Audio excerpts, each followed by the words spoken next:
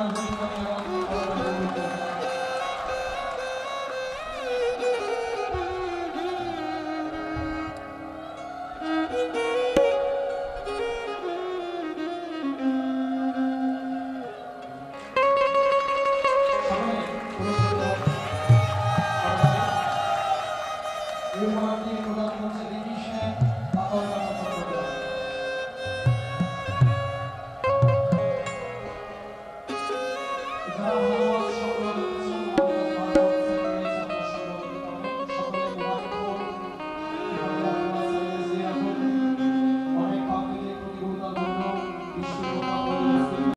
सबको बताते हैं हैं? यार, कौन सा अभी रुस्तम बहुत अच्छा है, हैं? अक्षय कुमार ने ऐसा किया, हैं? उसने ऐसा किया, ये किया, वो किया इतनी चर्चा करेंगे, फ़िल्म तीन घंटे का है और इसकी चर्चा छह घंटा चलती है भौतिक संसार में किसी को भौतिक आनंद मिला तो उसे बांटता है तो जब आध्यात्मिक जीवन में, जब हमें आध्यात्मिक आनंद मिले तो हम क्यों नहीं बांटे?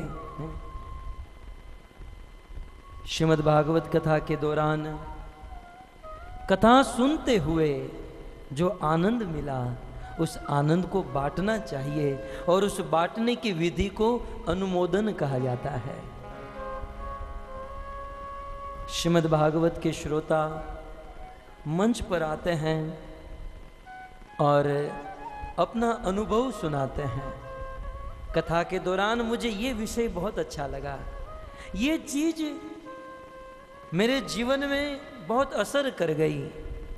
मैंने ये सुनकर मेरे जीवन में कुछ परिवर्तन किया, मैंने संकल्प लिया। भागवत के विषय वस्तु का वे अनुमोदन करते हैं।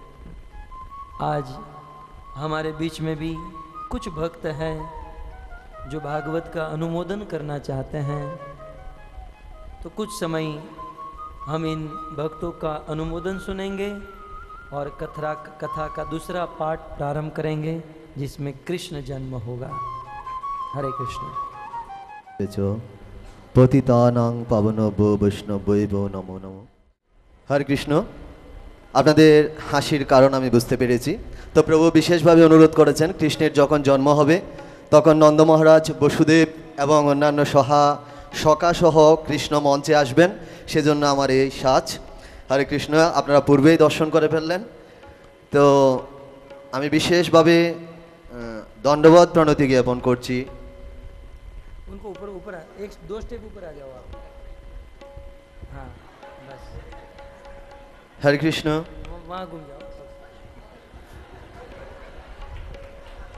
হরে বল। আমি বিশেষভাবে কৃতজ্ঞতা প্রকাশ করছি আন্তর্জাতিক কৃষ্ণ ভবনামৃত সংঘ, ইসকন, চট্টগ্রামের অন্যতম প্রবর্তক শ্রীকৃষ্ণ মন্দিরের ম্যানেজমেন্টকে যারা একটা যুদ্ধ বিধ্বস্ত দেশের মতো চট্টগ্রামে এ অভূতপূর্ব আয়োজন করেছেন।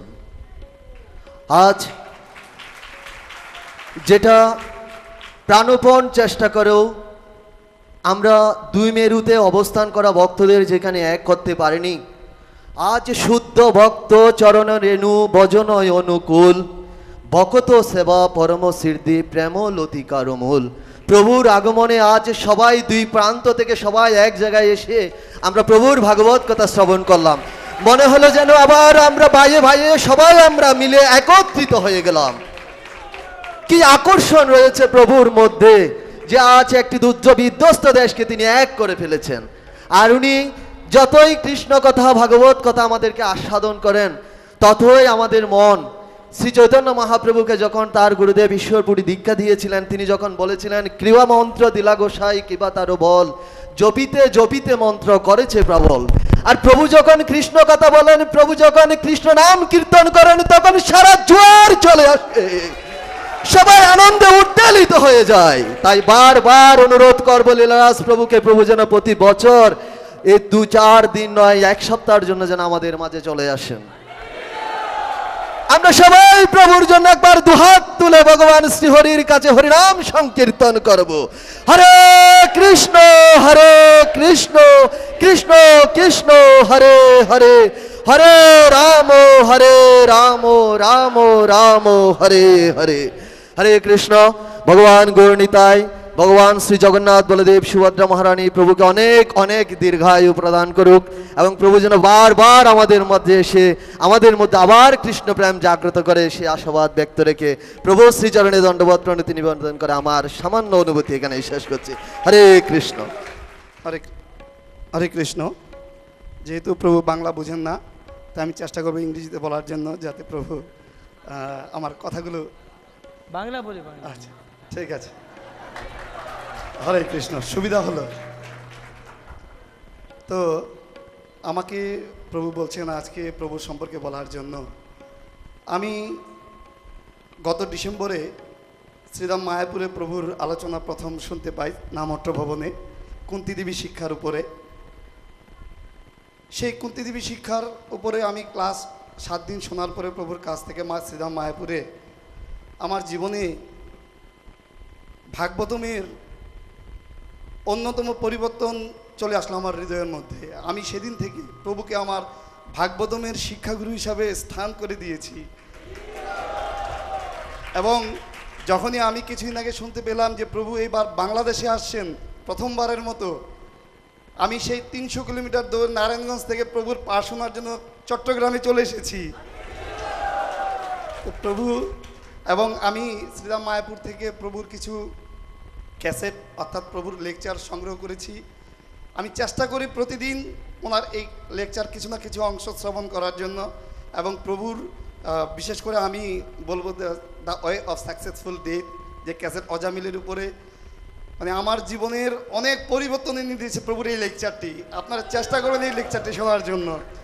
আর বিশেষ করে আজকে আমি এখানে শুনছি গত দুই দিন যাবৎ যে প্রভু ভগবানের জন্মলীলা আমাদের জন্য বলে যাচ্ছেন। তো আমি প্রভুর কাছে বিশেষ অনুরোধ করব।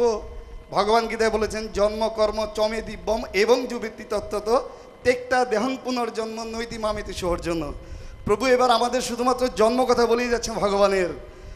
বাকি রেখে গেলেন কি? ভগবানের স্পিরিচুয়াল কর্ম।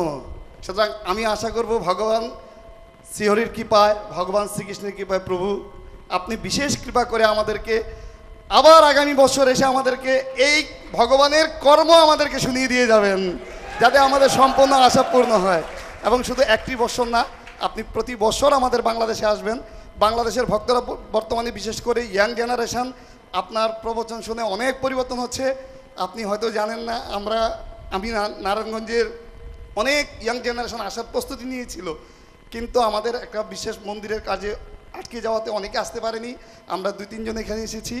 তো আমি সময় বেশি নিয়ে নিয়েছি। তারপরে আমি আমার নারায়ণগঞ্জের পক্ষ থেকে আমি প্রবর্তক মন্দিরের অথরিটি বিশেষ করে নীলারাজ প্রভু শ্রীচরণের দণ্ডবোধ প্রণতি নিবেদন করছি।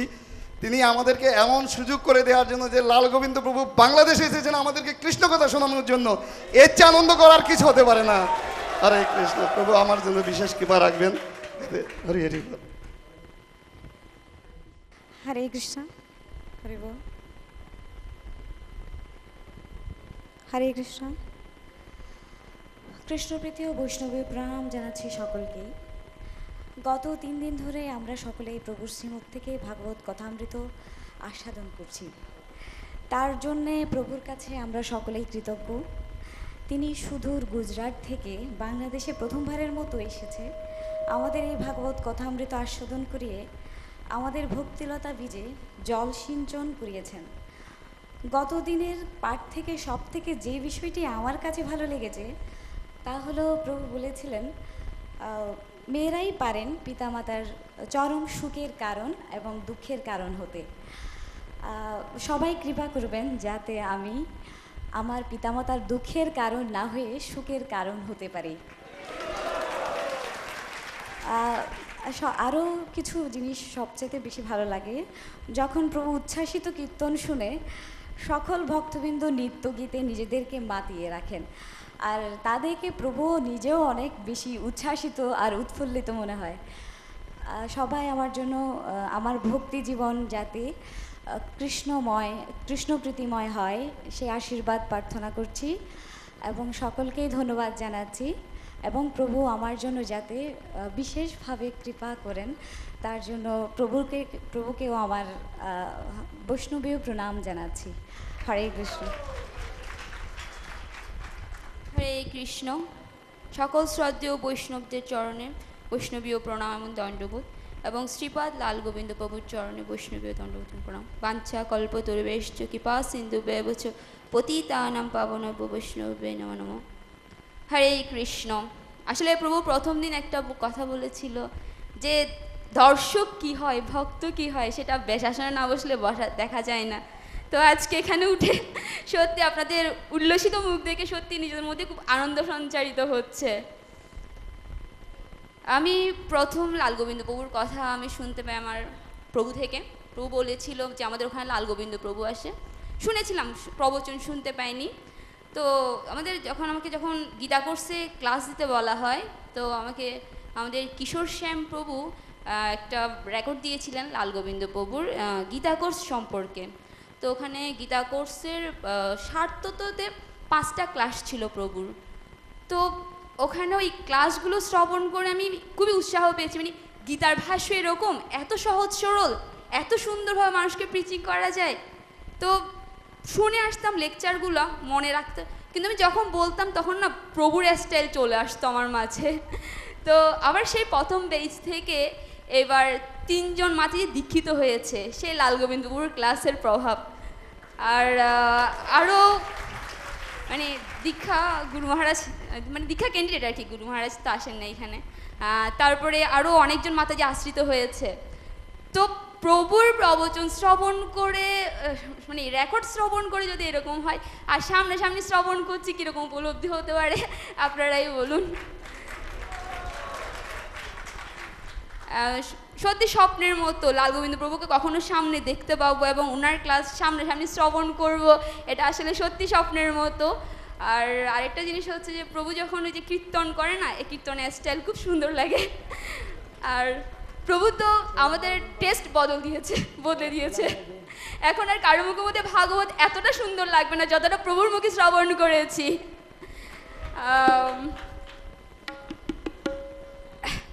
তো প্রভুর চরণে বিনম্র নিবেদন, প্রভু তো অনেক ব্যস্ত। তাও যদি প্রভুর আমাদের কথা মনে থাকে কখনো যদি সময় হয় তাহলে আমাদের বাংলাদেশের কথা মনে করে বিশেষ করে এই চট্টগ্রামের কথা মনে করে আমাদের কথা মনে করে আপনি যখনই সময় পান তখনই যেন আসেন প্রভুর চরণে এই প্রার্থনা জ্ঞাপন করছি आप आप टिकट भेज दीजिएगा हमारा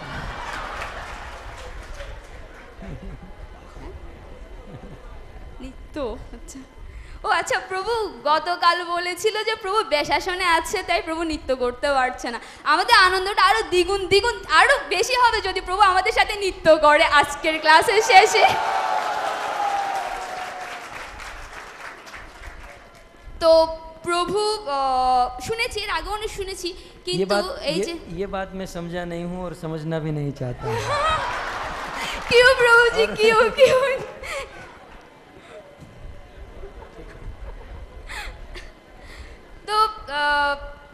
প্রভু ওই যে রাবণের কাছ থেকে লক্ষণের যে শিক্ষার কথা বলেছিল, যে যেটা কাল করবে সেটা আজকে করো, যেটা আজকে করবে সেটা এখন করো, এটা আমার হৃদয়ে খুব দাগ কেটেছে। এবং প্রভু বিভিন্ন তত্ত্বকথা আলোচনা করেছে, সত্যি কথাগুলো অনেক মনোমুগ্ধকর এবং জীবনে শিক্ষা প্রভাব বিস্তার করে। আসলে এত ভক্ত মানে সত্যি প্রথম যে প্রভু ছিল, যে সত্যি দুইটা মেরুকে এক করে দিয়েছে প্রভুর ভাগবতীয় প্রবচন। আমরা তো সুখদেব গোস্বামীকে দেখি নাই। তো সুখদেব গোস্বামীর প্রতিনিধিকে দেখতে পাচ্ছি।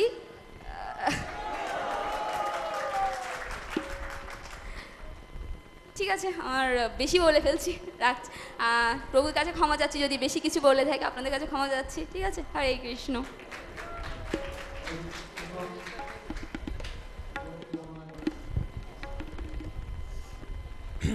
Hare Krishna everyone. I would like to thank the temple authority for organizing such an amazing event in this holy place. And I would like to thank you so much for come here and giving us time, your important time. then I would like to, I would like to say, um, uh, from his from his all lectures of four days, uh, he has tried to motivate our our mind uh, from positive from negative to positive, and uh, some of uh, some of his um amazing uh, examples I as far as I could remind uh, one was uh, when Lakshman was uh, going to uh, when Lakshman went to Ravan for acquiring knowledge he said uh, Ravan said when you uh, think something good in your mind or any positive thought come to your come across to your mind you should fulfill that immediately. And if you refuse it or if you avoid it you have to suffer a lot in your life. That was amazing. I was so uh, so influenced uh, from the speech so again, I would like to thank all of you for giving me opportunity here to express my experience of the four days Bhagavad class. Thanks all. Thanks a lot. हरे कृष्णा मैं हिंदी में बोलने का कोशिश करूँगी actually Bhagavat कथा शुरू हुआ चार दिन पहले और मैं पहले दिन से इधर आने वाला था मेरा घर यहाँ से डेढ़ सौ किलोमीटर दूर है और मैं ऐसा एक व्यक्ति हूँ जो लाल गोविंद बाबू का भक्त हूँ। मैं जिनको बिना जाने बगैर, बिना उनको देखा बगैर, खाली उनका लेक्चर सुन के मैं उनका भक्त बन गया और मेरा दिल पे एक अलग जगह बना लिया। और प्रभु को मैं इतना बोलना चाहता हूँ, जो एक चमत्कार आज आपने यहाँ पर दिखाया। शायद आप जने कि पता नहीं, हम सब लोग जानते हैं कि चट्टग्राम वासियों ने भी गया तीन सालों से। इस प्रवर्तक मंदिर में किसी का मुँह पे इतना ज़्यादा हँसी नहीं था, इतना दुखी थे, बहुत सारे प्रॉब्लम्स थे, लेकिन आज यहाँ आके आपकी वजह से कितना हँसी, कितना मुस्कुराहट, कितना सूखी भक्तों को देख के इतना अच्छा लगा। इसीलिए आपको हज़ार धन्यवाद देता हूँ। और आपका सारी बात लेक्चरों में इतना अच्छा लगा। हाँ आपका जो लेक्चर है, आपका बोलने का जो ढंग है, आपका कीर्तन का जो सुंदरता है, किसी भी असुर का दिल में भी भगवान का प्रेम जाग जाएगा। और मैं, आप जो बताया था ब्रह्मचारियों ने मोटरसाइकिल की जैसा और हम गृहस्थों ने ट्रक की जैसा जैसा जैसा कि मैं गृहस्था हूँ, मेरा एक सात साल का बेटी है, वो भी आपको अच्छी से जानती है, मेरा वाइफ भी आपको अच्छी से जानती है। वो लोग आने की बहुत प्रयास किए थे, लेकिन मेरा बेटी का परसों एग्ज़ाम थी, इसलिए वो नहीं आ पाया।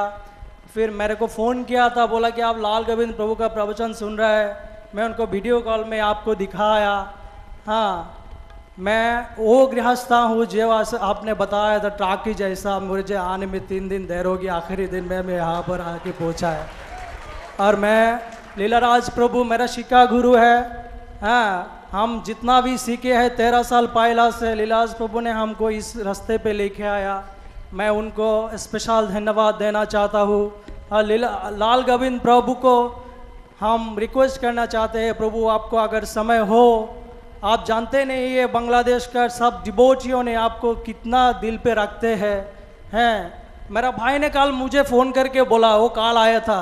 बोला, भाई, तू सब कुछ छोड़, एग्ज़ाम छोड़, तेरा बेटी का दुकान छोड़, तू चला, इधर नहीं आएगा तो तू समझ नहीं पाएगा, ये क्या प्रवचन है? और लाल गोविंद प्रभु क्या है? हाँ ये खाली प्रवचन सुन पे, तेरे तू समझ नहीं पाएगा। जब साक्षात उनका दर्शन होगा, तब पता चलेगा सही, आज मैं आके मुझे इतना यही पता चला, अगर मैं नहीं आता तो शायद मैं जिन, मेरा ज़िंदगी में बहुत बड़ा चीज़ मिस करता था। प्रभु, आपका चरण पे धन्यवाद, आपका चरण पे प्रबंधी, प्रणति, आपका पास रिक्वेस्ट है। आप हर साल और कभी भी टाइम मिले, हमारे लीलास प्रभु के साथ कंटेक्ट करके, आप आ जाइए हम लोग को दर्शन देने में। यही प्रणति करके मैं यहाँ पर ख़त्म करते हरे कृष्ण।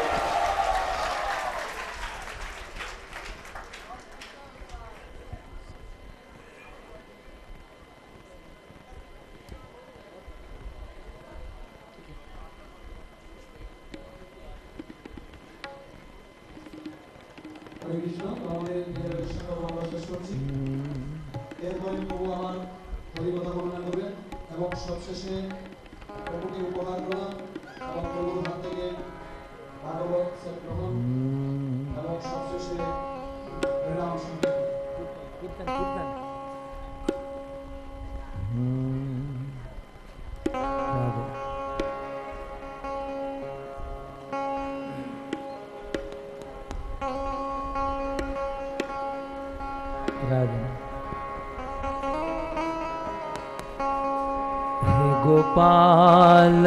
राधे कृष्ण गोविंद गोविंद हे गोपाल